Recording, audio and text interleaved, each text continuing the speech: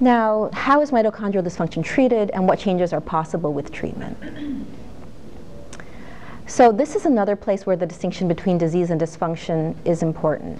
And many forms of mitochondrial disease cause quite severe disability. I'll show you a video in a moment showing you the extreme degree that mitochondrial disease can impair the ability of an organism to survive. For such severe disease, effective treatments haven't yet been discovered. But for more mild disorders, um, there are treatments that are possible. And um, mild, those who are mildly affected tend to respond better to treatments as well. This was a patient that I took care of during my residency, and it shows you this infant, this newborn, had a very, very extreme form of mitochondrial disease that um, basically impaired his ability to breathe, which is why he's intubated. And you'll see here just a sample of what severe mitochondrial disease can do.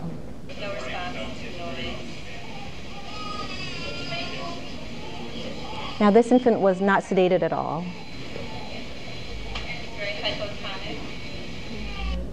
And he couldn't move, he couldn't breathe on his own, and survived just a few days, and care was withdrawn.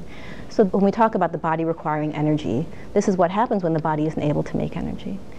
Now, um, when mitochondria are so severely impaired, any degree of supplementation and vitamins really can't help because the mitochondria's capability of functioning has been so dramatically um, in, uh, impaired. Now, fortunately, mitochondria are often impaired to a much milder degree where they still have the capability to function better. And what can we do to help that process? So some leading university medical centers have had very good success in the treatment of mitochondrial disease and dysfunction. And the Kennedy Krieger Institute at Johns Hopkins is one of these. They are a leading center for the treatment of autism and mitochondrial disease and dysfunction. And for over 15 years, they've been using vitamins and supplements to treat patients who come from all over the country because what they offer is very specialized type of care. Dr. Richard Kelley, who's the director of the Division of Metabolism at Johns Hopkins, wrote this practice guideline to help other physicians do what they do at Johns Hopkins. I have copies here and you can access them online too if you're interested in reading more. Now, this is the treatment that they've developed. It's a combination of vitamins and supplements and this sort of treatment regimen is sometimes referred to as a cocktail because it involves many different ingredients. L-carnitine, coenzyme Q10, and vitamin B5 work to improve the function of the mitochondrial respiratory chain, which you saw earlier in the video by MitoAction. It's the portion of the mitochondria that generates ATP, which is the body's fuel. Vitamin C, vitamin E, and also CoQ10 function as antioxidants. And antioxidants are molecules that help to protect cells and mitochondria from damage that can occur through a process called oxidation.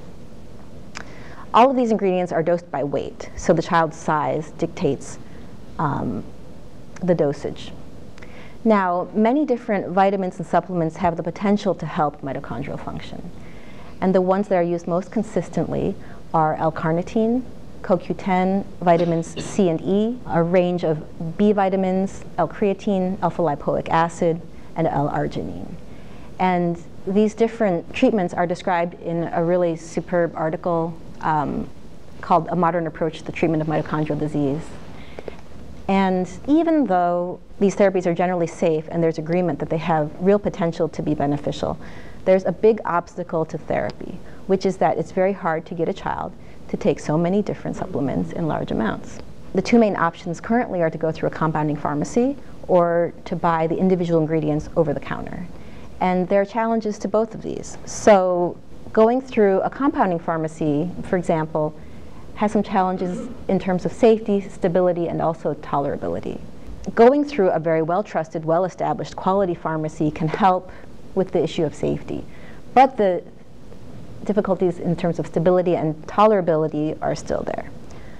So compounding pharmacies as a whole aren't regulated in the way that pharmaceutical manufacturers are. So there's no verification of the dose or the source of the ingredients, and there have been some recent very high profile cases of contamination of products that have been created at compounding pharmacies. The compounded form of the cocktail is not shelf stable, it requires refrigeration. It often has a poor taste and appearance, and there are limited options to what they're able to do. Um, there may be multiple liquids or multiple liquids as well as oils that a child has to take. The problem with traditional over-the-counter supplements in individual forms is that the quality of the manufacturer and ingredients is often unknown. It's hard to dose them in the right ratios that a particular child may need. The stability is often not tested. There can be a high pill burden. And because you want to dose by weight, it can be difficult to find the individual components and put them together um, in the right dosages for a particular child.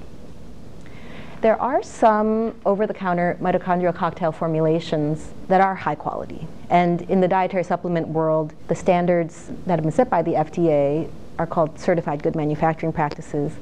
And companies that take the extra step of having them verified by a third party are considered to be the highest quality. So I've listed a few here. I haven't shown their specific names, but I can tell you more about them if you'd like to know more. These are the forms that they come in, the contents that they have, and some other features that are important. Now you can see how different they are in what they contain. And this is where it's helpful to talk with the physician so that you know what your child may need. You can also see that if you take a certain formulation, you're stuck with what it contains and also what ratio it contains, as well as what allergens may be in it or artificial sweeteners or preservatives. So those are all factors that I think are very important to take into account.